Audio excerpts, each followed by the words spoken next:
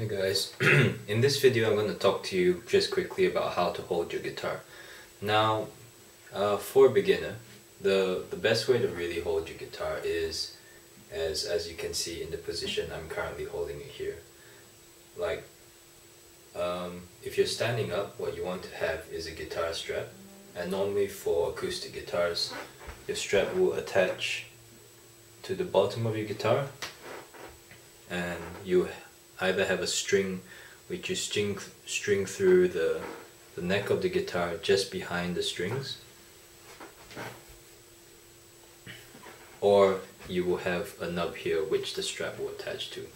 Alright, so whether you're standing or sitting, uh, your guitar should be roughly the top of your guitar. Well, for me, a comfortable position is uh, the top is just in the middle of my chest and the bottom is is just below, just around my waist, okay? So the reason why this position is good is if you're standing and if you're sitting, let's say I was sitting, um, the guitar would be in roughly the same position. So standing or sitting, this would be a comfortable position for you to hold it. And if you are playing, what you can do is you can tilt the neck up so that you actually in a comfortable, you can rest your arm on the side of the guitar in a comfortable strumming position and you have easy reach to the neck. Okay, so if you look along the side when I'm holding it, the guitar is resting comfortably along on my body and my hand, my hand is at roughly a 90 degree angle and it's just holding the neck of the guitar like this. Alright? So what you don't really want is you don't want your your your wrist to be overflexed when you're trying to press chords. Some of you may feel that ooh, in order to press the strings you need to stretch your fingers around and press but what you really want is you just want your wrist to be relaxed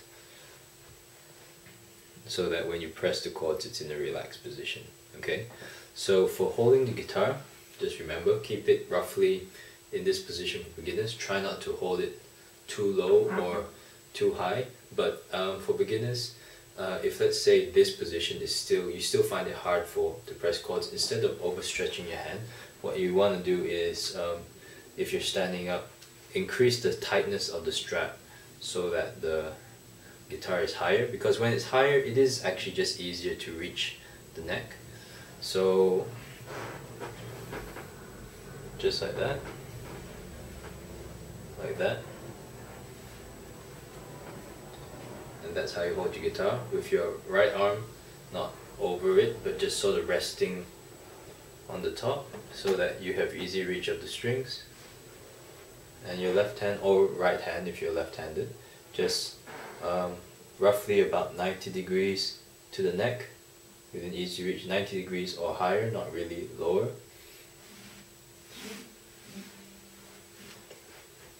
And that's pretty much how you would hold your guitar